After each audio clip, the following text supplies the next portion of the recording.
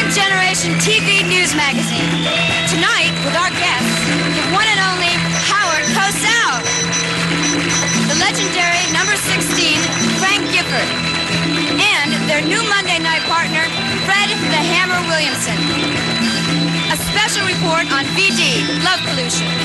The Goodnight America Band is here, and I'm Marilyn Chambers, and I'll be talking to you about my career from behind the green door to Ivory Soap.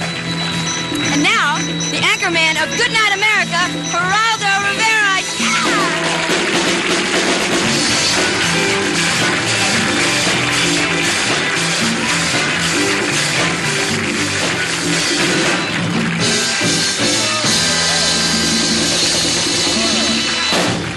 Thank you.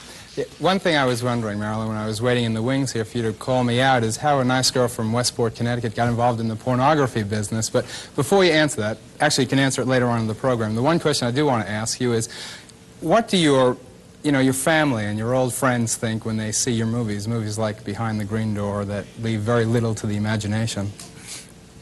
Well, I'm not sure if my family's seen them, Oh, but, um, what about your other friends that have?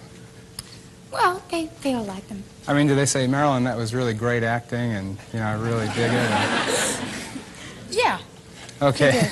well, let- let's talk about that aspect of your career and your new performing show business, you know, a little more traditional when you come back later on, okay? Fine. I'm glad you're on the program. Thank you. Marilyn Chambers.